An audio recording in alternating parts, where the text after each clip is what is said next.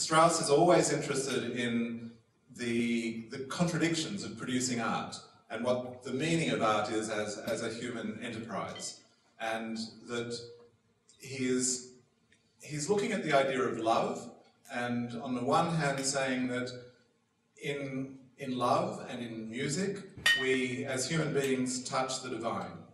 Um, but that we also have to live our daily lives. We have to eat our meals, we have to um, amuse ourselves, we have to get on with the, with the prosaic uh, concerns of, of living our lives. And that uh, and this is this is borne out in the in the beautiful duet between Zerbinetta and the composer in the prologue, where Zerbinetta says that um, you know on stage she is always having to fall in love um, with the next man that comes along. That she is uh, everyone thinks that she is fickle because that's the character that she plays on stage. That she is longing for the one love that will come along and transform her life. At the same time, the story that is enacted is, is centered around this contradiction that we are moved by the idea of a love which is for all time, but somehow uh, we find attraction comes and knocks us sideways all the way through our lives, and sometimes from different people. This contradiction that um, um, you know you can have an ideal in your head and uh, and a different experience in practice.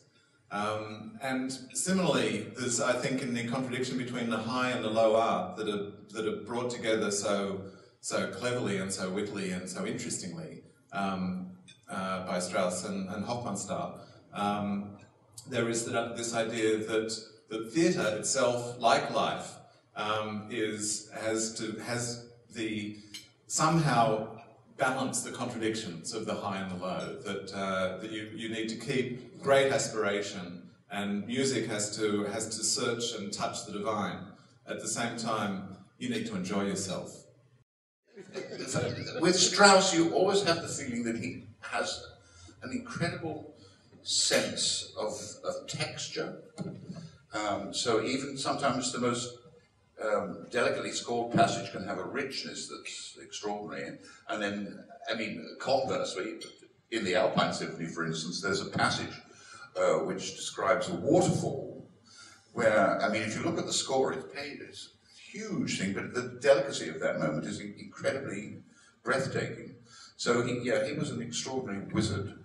Um, as far as orchestration is concerned, but it's never it's never just colour for colour's sake it's always there at the service of the, of the text and the, and the emotion of the, of the drama.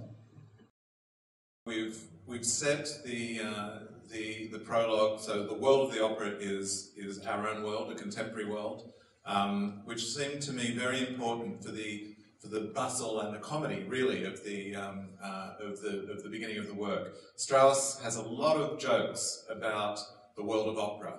Um, and we've reinforced that with the sense that the, um, uh, the, the tenor who plays Bacchus and the prima donna who plays Ariadne um, come out looking like clowns, really. They've got their heads in little caps waiting for their wigs, they've got uh, Kleenex uh, tissues around their necks waiting for their makeup to go on, and they're wearing um, uh, lurid uh, dressing gowns. And they, and, and so and Strauss writes them as rather preposterous figures.